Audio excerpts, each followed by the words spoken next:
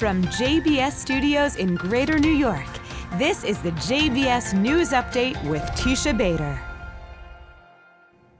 I'm Teisha Bader with the JBS News Feature Special.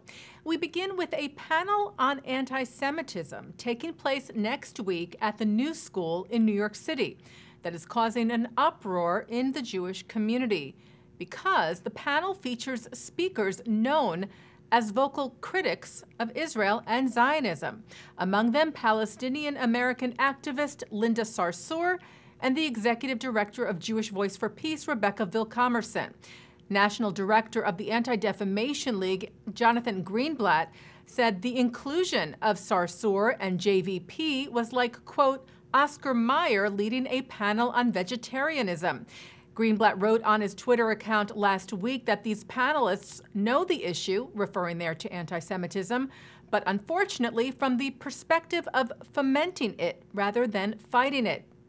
And the American Jewish Committee also tweeted that panels on anti Semitism should feature those who fight it, not those who perpetuate it, calling the new school's decision outrageous.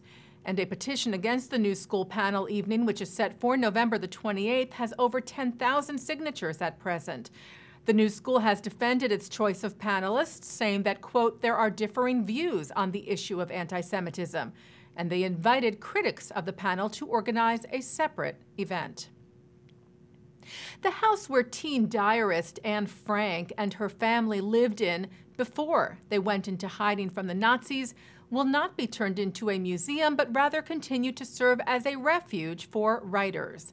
The foundation that maintains the Anne Frank House in Amsterdam said they have now purchased the property where the Franks lived from 1934 to 1942 when they went into hiding in another part of Amsterdam. Spokeswoman for the foundation, Anne Marie Becker, said it's important for the foundation that the home where Anne Frank lived in in the 1930s remains intact and is looked after in a proper way. The house has been lent to the Dutch Foundation for Literature since 2005, which uses it as a home for writers forced to flee their countries due to persecution. And the foundation said the home will continue to serve as a safe haven. And by the way, a new production of The Diary of Anne Frank is currently being performed at the Westport Community Theater in Westport, Connecticut. It is a newly adapted version of the play by Wendy Kesselman, and it runs through December the 10th. Acclaimed Jewish violinist Itzhak Perlman is the focus of a new documentary. Itzhak had its world premiere last month at the Hamptons International Film Festival, and this month was featured at Doc NYC, said to be the largest documentary film festival in the country. The film is directed by Alison Chernick, who recently told the senior editor of Women in Hollywood, Itzhak Perlman personifies the resilience, vision, and contribution of the Jewish people. Through Perlman, she said, we hear stories of obstacles and survival while witnessing humor, talent, discipline, and drive. Chernick said the film follows the evolution of a musician while exploring Jewish history and culture.